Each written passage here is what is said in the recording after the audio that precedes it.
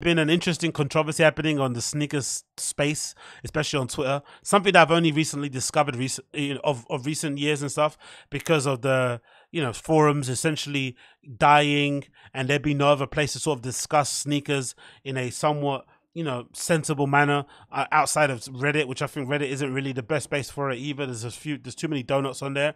Um, but I really do miss places like Crooked Tongues um to kind of discuss sneakers and shit. So I'm happy to replace it with Twitter. And unfortunately, Twitter is mostly US, or the people that I follow are mostly in, in, America. And I feel like the American sneakerheads on Twitter are so corny, so cringy. It's kind of really hard to kind of get into the weeds of some of the stuff they're talking about. But hey, make do with what's available. So the thing I'm talking about is the cactus plant flower, the cactus plant flea market and um, air flea twos that came out recently. I covered them already on the on the pod. I spoke about how much I love them. They've dropped already in the US. I'm not too sure when they're going to drop here in the UK. Um, if I'm not mistaken, the retail in the US was around $220, and it's nice to see that the price of them now as as i'm checking them um, stockx now the last sale um, of a pair was 288 pounds.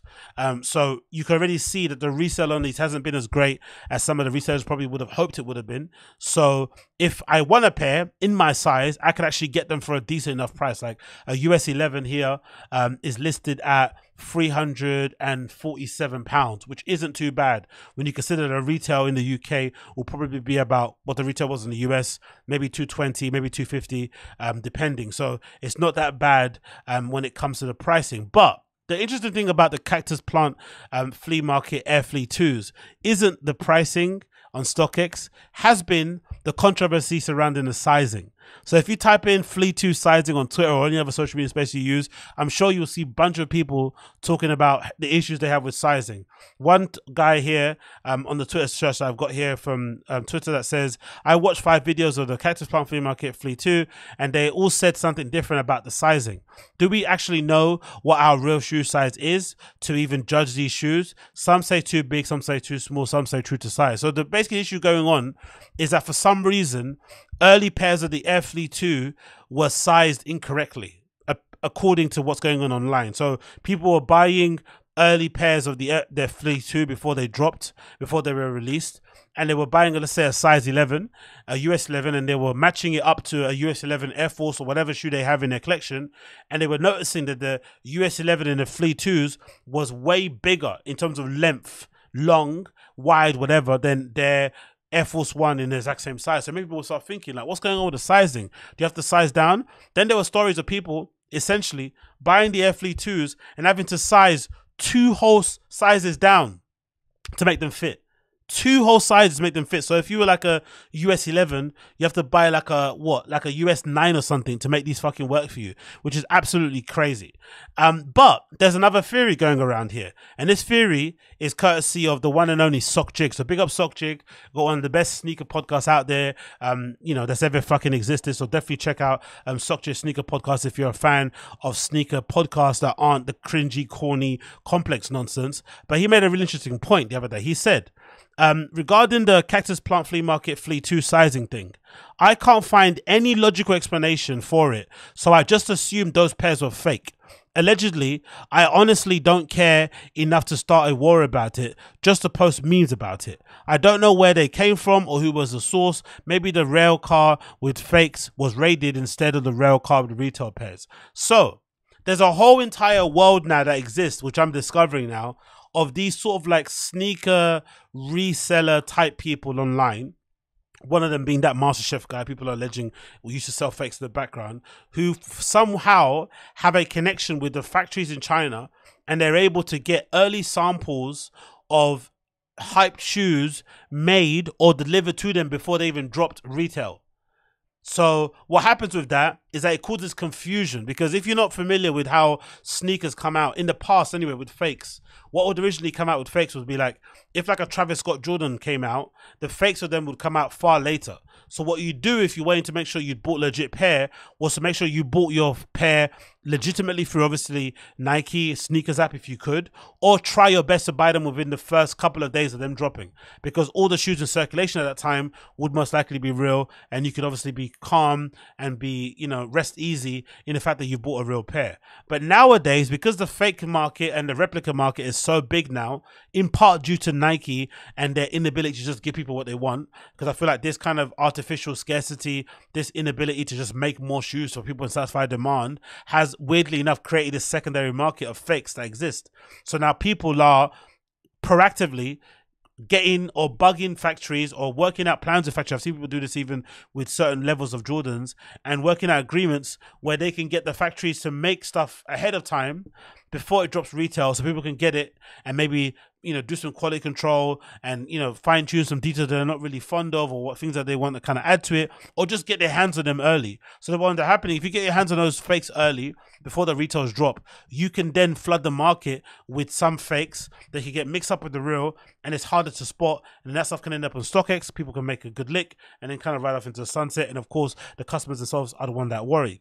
But when it comes to these flea twos it seems like the unique nature in which these shoes were made, right? The fact that they're a little bit, you know, all over the place in terms of design and shit has weirdly enough led to this weird sizing issue. Because if you look at the shoe itself, you're not looking at it here, but essentially what it has, it has this really strange um kind of outsole where it's really big. It's much bigger than the actual shoe um, footbed. So it kind of reminds me a little bit recently of a shoe that dropped, um, the Balenciaga. I think I think it's a Tyrex boot, right? It's a Balenciaga sneaker that looks like it's, a, it's got like a tire wrapped around it. And if you actually look at the shoe footbed, if you're actually looking down um, as you're wearing the shoe, you'll notice that the actual rubberized side of it where the tire is is a lot more thicker and, and protruding on the outside of the actual shoe itself. So it can actually look a bit bigger than what it is. Again similar to the triple s where the sole's really large and the actual footbed itself of the shoe is fairly small. And if you actually look at the triple s actually if you actually look at it from the side profile you'll notice that it's a bit more of a triangle shape. So all of this is the the bottom bit is where the triple soles are and then the top is where the actual sneaker itself is. So it gives this weird illusion. So for some reason, I guess the rep factories might got thrown off by the weird shape of these flea twos and how they've got this really um you know pronounced exaggerated over you know ex- you know over whatever fucking rubberized outsole that goes onto the shoe. So maybe when they were making the reps they incorrectly made them the wrong size. Or when they got the samples made they only had a really big size to kind of go off of, and that maybe fucked up the sizing when they eventually put it, which has happened before. I've seen people complain about rep sizing all the time, so I guess it is a bit of an issue sometimes. It can happen from time to time, so I think that might have been an issue that occurred. But this is an interesting problem that we're having now, right? Where we're having these guys and girls who kind of credit themselves on selling very rare and expensive, very rare limited edition shoes for incredible incredible amounts of money.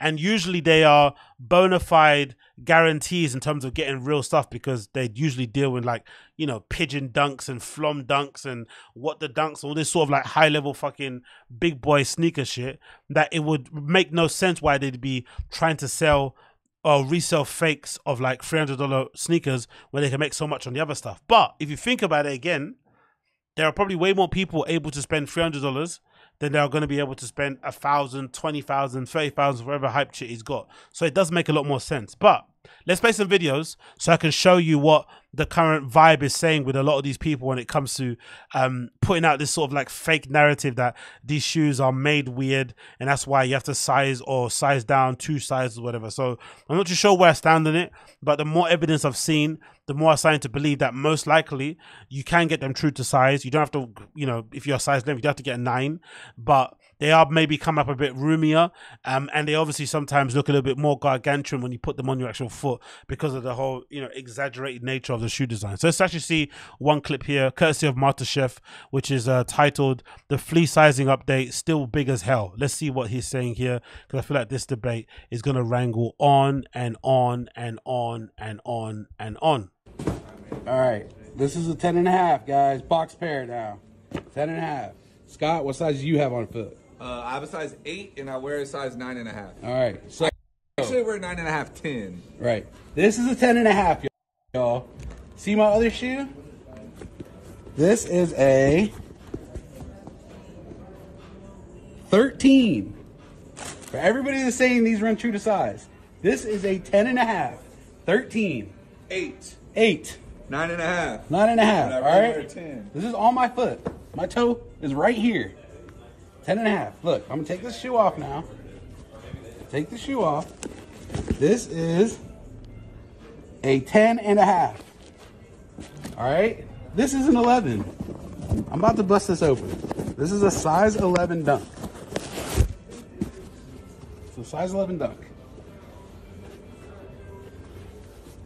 I can't even get my foot in it. Mm-hmm. Size 11 dunk. 10 and a half. Size 13. Eight.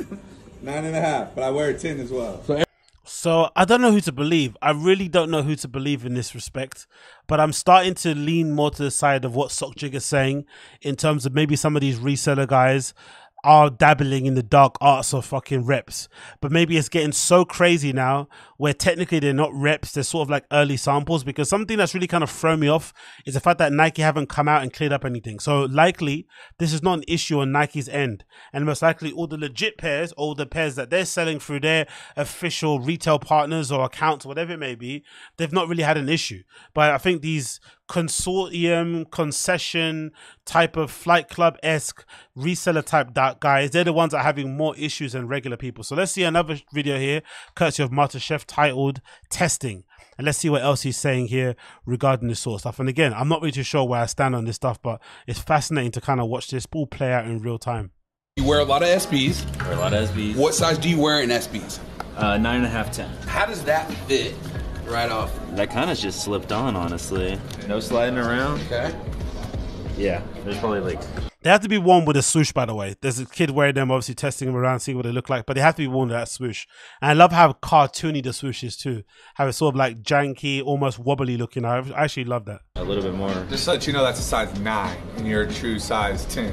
D3s are 10. 10. 10 boom. Okay. Oh, yeah, this is it. Now off the rip, how's that feel? Tighten it down. Yeah, lock it down real quick. My toe's right at the top. Okay. Yeah.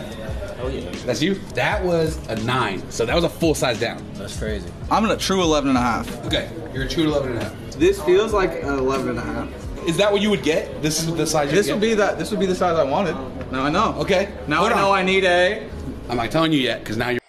why do all US sneakerheads they have this archetype that exists this like obese fucking sneakerhead guy. They they all exist. I, I think the other one is like Mr. what's that that major guy from New York that always buys Air Force Ones and shit and thinks he's some sort of trap god with it.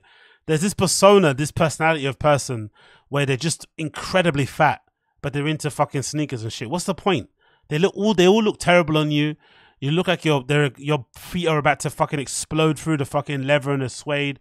What's the point of looking this size or being this size and also, you know, owning some of these most coveted, beautiful sneakers in, you know, in sneaker fucking history? You're better off dropping 10 pounds and wearing a couple of Payless shoes, I would reckon. But again, maybe I don't know what I'm talking about.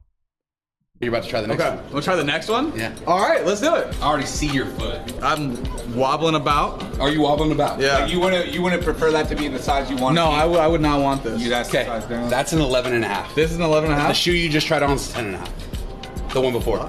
Isn't that crazy? Really? Yes. So uh, the internet, Twitter, Yeah. is telling us that these fit true to size. This is not not true to size. It's a lie. You heard it here first.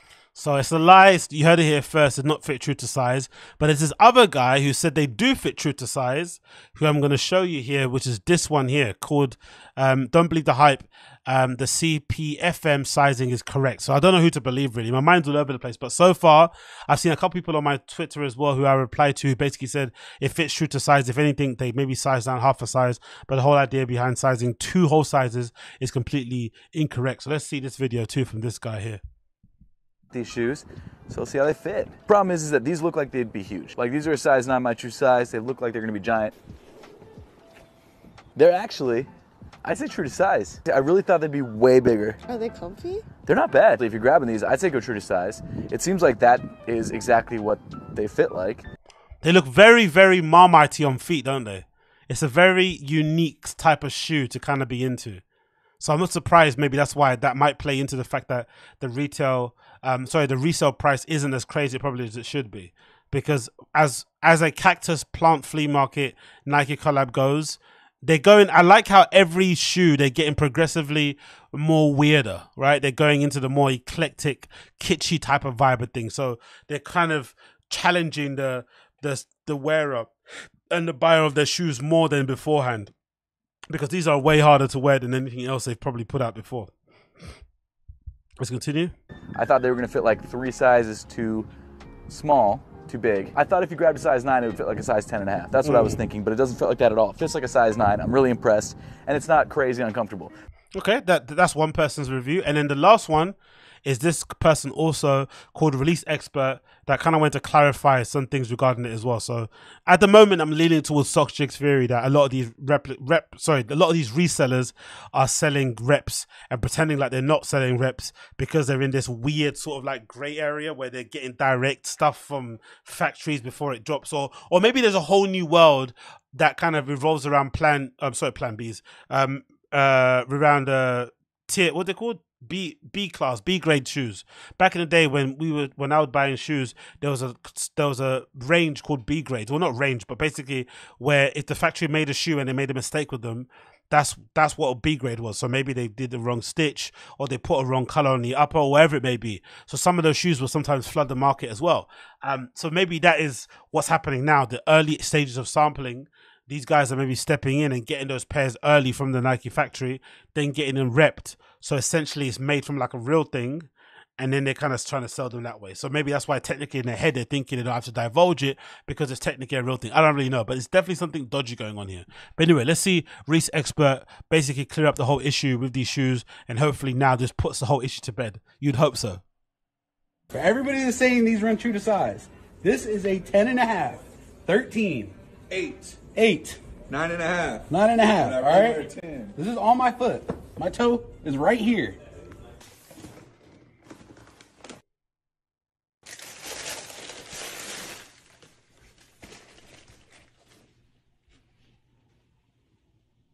Okay, he's pulling them out. Size comparison with the US 11700 So these V2. Cool. CPFMs really remind me of the Balenciaga triple S's where the Oh, you see? That's what I said earlier about the triple S's. See? There we go. The outsole and the sole of the shoe is extremely large, larger than the actual base of the shoe. Uh-huh. Now, in this case, when I tried them on, it honestly fit pretty true to size. I know it Uh-huh. looks pretty big on my foot, and it's because that outsole extends further out than the actual shoe. Exactly. So the, the the probably shoe itself, the footbed, is probably somewhere around here. It probably stops around somewhere here, and it stops around somewhere out here too. But all of this other stuff is just the extra, you know, material and bits and bobs that kind of have make it have this exaggerated, almost bulbous look.